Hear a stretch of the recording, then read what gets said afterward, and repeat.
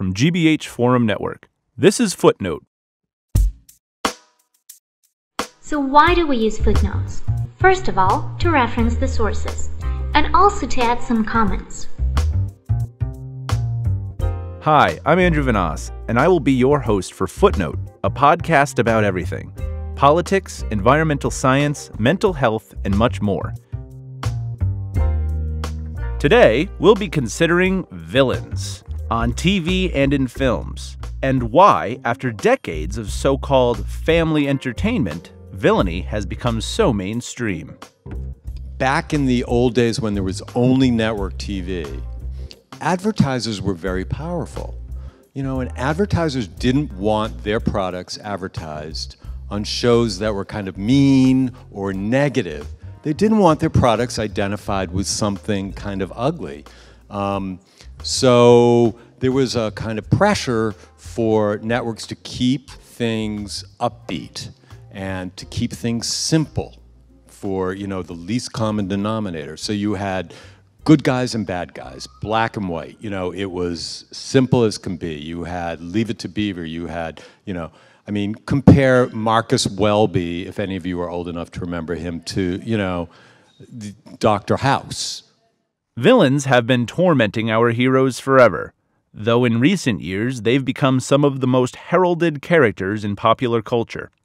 Once the object of scorn, viewers now want to be them. Why is that? And how has public consumption of media encouraged and adapted to this change? In January 2019, Boston Globe TV critic Matthew Gilbert spoke with GBH's Edgar B. Herwick III. Later, we'll hear from Boston University Assistant Professor of Film and Television, Adam Lapidus. The original presentation on villains featuring Matthew Gilbert was part of the Forum Network's Boston Talk series. You know, audiences actually do crave reality. They want grayness. They want their villains to, you know, to resemble real people. They want um, they want to see real life up on the screen, and, or on the little screen, or on the big screen in your den, or whatever you want to call it.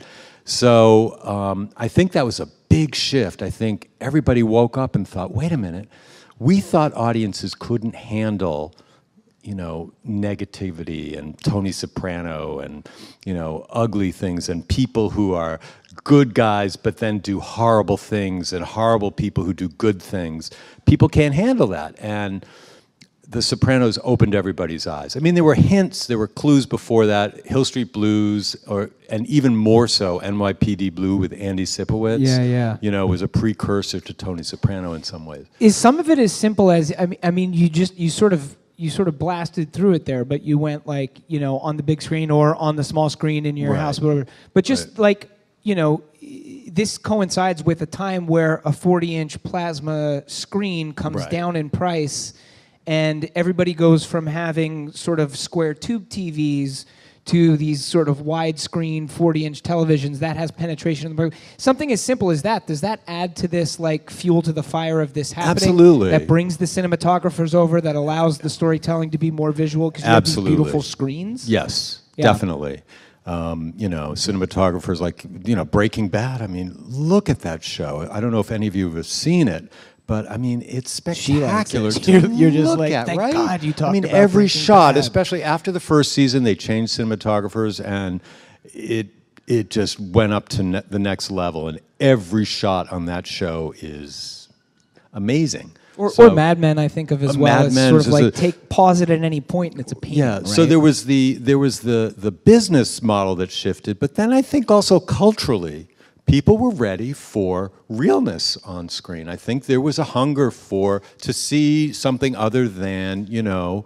Good, by, good guys going up against bad guys, and I think you know maybe I don't know what that's from. That's from you know the news media expanding and everybody seeing the world as it is more than they used to back in the 50s when you know we had Leave It to Beaver. You know suddenly people wanted to see gray.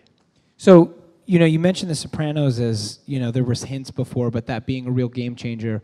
Uh, what makes Tony Soprano work as a character, and is is it like gi- give us a sense of why he is groundbreaking. I think he challenged the audience morally. You know, when you're watching a good guy who's really, really good and a bad guy who's really, really awful, there's no moral, you don't have to ask yourself questions. It's good and bad. Tony Soprano made you ask lots of questions like, is he horrible? He's trying to get better. He's in therapy. We, you know, it's a psychological show, so we got to see the root of his pathology or his uh, sociopathology. No, wait, what's the uh, Sociopathology, sociopathology? Yeah. yeah. So suddenly he was more sympathetic. I can't say that he was redeemed really, but by anything that he did, and certainly not in the end. But he he he made us ask ourselves why we were drawn to him and why we wanted to pay attention to him and why he was so interesting. And I think that was the key to the end of the show. Um, I think, you know, and I don't want to spoil it for anyone who hasn't seen The Sopranos, but if you haven't seen The Sopranos, pfft, whatever. Um, you know, it, the screen went black. I'm sure you all know that. And, and I felt that we were, it was David Chase, the creator of the show, basically saying, you decide. Does he get killed? Does he live? Is he going to be punished for what he did? Do you think he should be punished? You know, I think it was more of the same throwing the moral weight onto the viewer and asking us to think it through.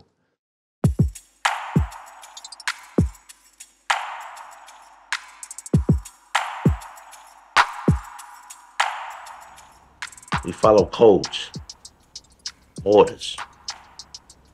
So does that justify everything that you do?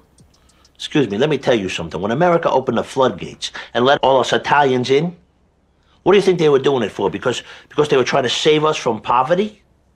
No, they did it because they needed us. They needed us to build their cities and dig their subways and to make them richer. The Carnegies and the Rockefellers, they needed worker bees, and there we were. But some of us didn't want to swarm around their hive and lose who we were. We wanted to stay Italian and preserve the things that meant something to us honor and family and loyalty. And some of us wanted a piece of the action. Diving deeper into this villainous topic, GBH intern Jusneel Mahal spoke with Boston University professor and longtime TV writer Adam Lapidus. Thank you for joining me, Adam. Are you ready to delve into the world of villains? I am oh so excited. A little scared, a little scared, but more excited. So, why are audiences drawn to villainous lead characters?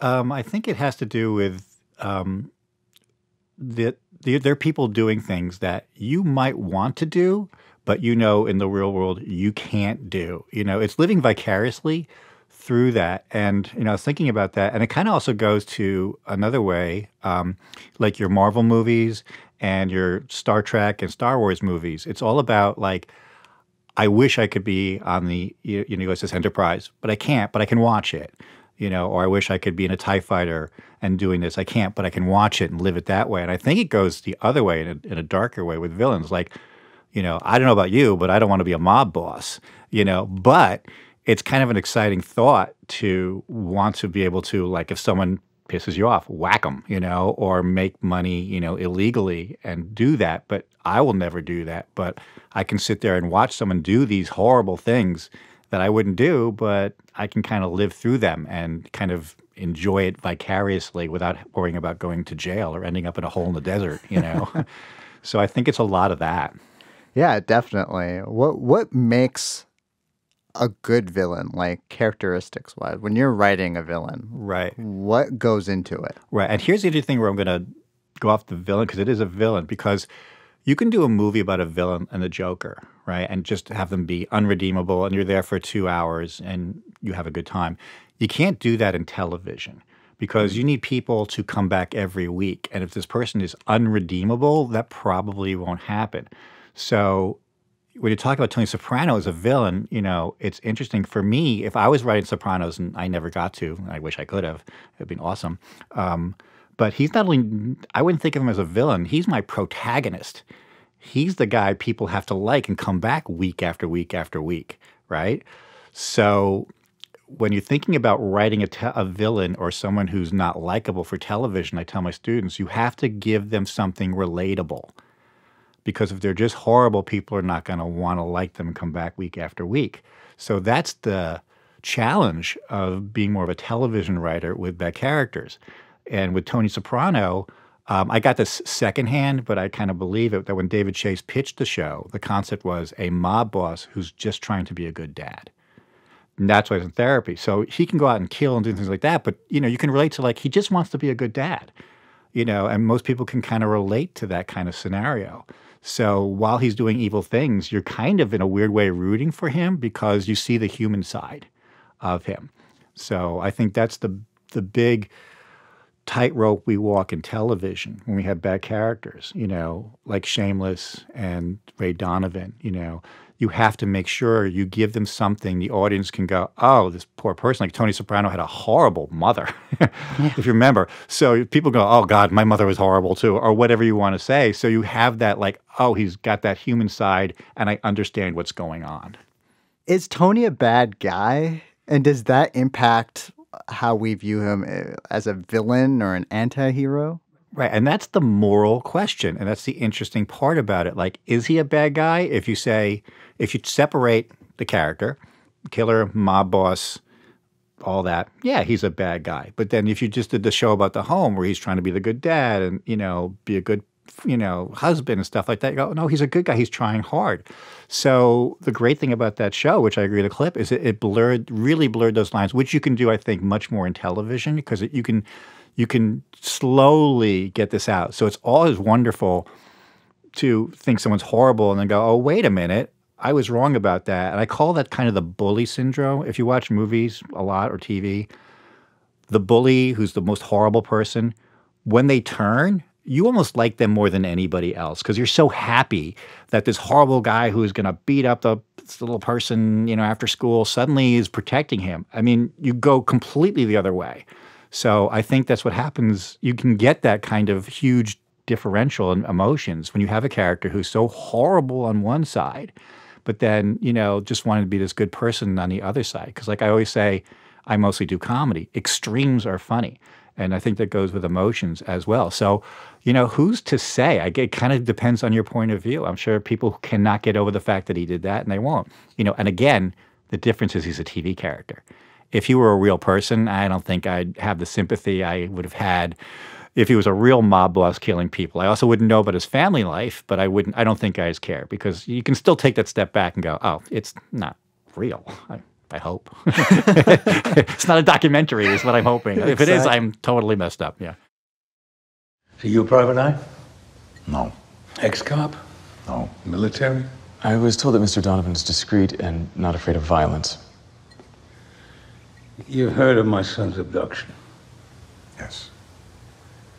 Last night, the kidnappers contacted the media. This morning, they demanded $5 million in ransom. Don't you think that's strange? Could be. Well, you've dealt with this kind of thing before. Kidnapping. No. Oh, I assume you're too busy saving people from themselves, covering things up, huh? I guess. Guess. Could be, sure. Okay, is this the way you usually obtain employment? By muttering two-word answers? You don't want me here, I can go. What, I've offended you? No. You're just wasting my time. You got a job for me? Tell me what it is. Not? Thanks for the pen. You got a nice house. Oh, wait, Mr. Donovan. Exactly what do you do? I change the story. Well, I've got an entire publicity department to do that. Yeah? Have them go get your kid. If you know the show Ray Donovan, I've heard of it. which yeah. for me, and I won't people yell, I think that's as good. I think that show did not get its due with Liev Schreiber. I that th- that show just blew me away. I think it was so amazing. Very similar. Liev Schreiber plays a fixer who's a guy from Boston, you know, who grew up poor with a horrible, horrible father played by Jon Voight, um, who basically does the same thing. He fixes when someone in Hollywood gets in trouble, kills somebody, he takes care of it, but it leads him down to he'll kill people too.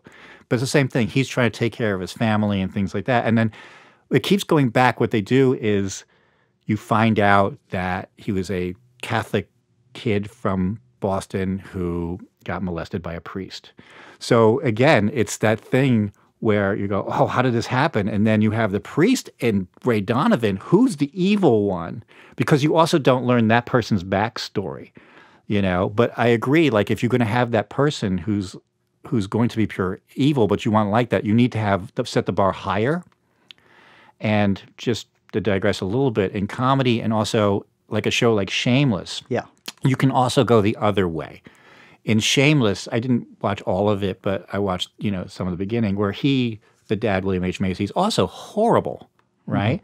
But in the pilot episode, he has a young daughter who loves her father. And because she's so good and loves her father, you want to redeem the father. And this is a this is a way to make characters likable. And again, just to digress, do you know who Jim Brooks is? Yeah. Okay, so he's my idol, and he gave me my start. He gave me two of my big breaks, and he's like, I would say, arguably the best television writer. Don't argue, it's true. He told me because I did an episode of The Simpsons, and I was kind of talking. I said, "Well, Homer's a, not a great guy. He chokes his children," and he said, "Yes, but Marge loves him." And he said, "It's the same thing when you go back to Ralph Kramden. It's the same thing when you go back to All in the Family with Archie Bunker. These are three of the same." He said, "It's the same relationship. These are horrible guys, but their wives are wonderful and you love them and they love their husbands. So there has to be something redeeming about them. And that's the opposite way to go. You can, if you've somebody horrible, you can say something even worse and go, well, he's not as bad as, you know, Joe Pesci, Yeah. you know, in, in Goodfellas, you know, okay, so I like that guy because he's not Joe Pesci. But then you can go the other way, um, which I encourage my students to do a lot. If you have a character in television, is find a nicer way to go with someone who's wonderful and sweet. And if they love this character, the audience will then like the character more and feel more like, oh, please be good for the daughter. Please be good for your wife. Please be good for or your husband, whatever you want to go. If you're talking like they talked about Nurse Jackie that way too. You know, she was not a great person, but her husband was pretty nice and he was working hard and he loved her. So, you know, it kind of brings you in that way. I resent what you're insinuating. Why on earth would my nursing student flush a man's ear down the toilet? But I'm the one who found it. Mm-hmm. And there are firemen who set their own fires just to call them in. You know, you're not wrong. My Uncle Gary torched a hobby store. Uh, that was an insurance thing. Ah, but anyway, I hope you get to the bottom of this. So, Mad Men, The Sopranos, Breaking Bad's lead antiheroes are, you know, middle-aged white men. Mhm. And I'm I'm curious on your take. Like, why are there so few women and people of color starring in these roles? Or, I guess maybe some shows like Nurse Jackie that do have that representation, but people may have missed. Right. I'm going to, to be super honest in my opinion, I think, you know, it's still dominated by men, you know, white men who I don't think want to write an anti-hero who is a person of color or a woman because I think that opens them up to a lot of ridicule. Um, rightly so, I think, because who are you to do this? So, like I said, Ray Donovan, the show I talked about, was created by a woman. Um, uh, but she made her anti-hero a man. So maybe it's also still that's just what's expected in the world. Like people don't want to root against a woman. Um, I think again, Game of Thrones might have changed that. Cersei was pretty nasty. Yeah. You know, do not want to be caught with Cersei on a vacation. You know, she seems pretty cranky. Um, so I think it's one of these things that's slow in happening. I think it'll happen more when you know more diversity and women and people of color come in because they'll be more comfortable to make someone who looks like them an anti-hero or evil because they'll be like, okay, maybe I know that person, or you know, hey, this is my world, so I know what I'm talking about. So I think it's part of the process of television features trying to grow, trying to be more inclusive, just taking their time.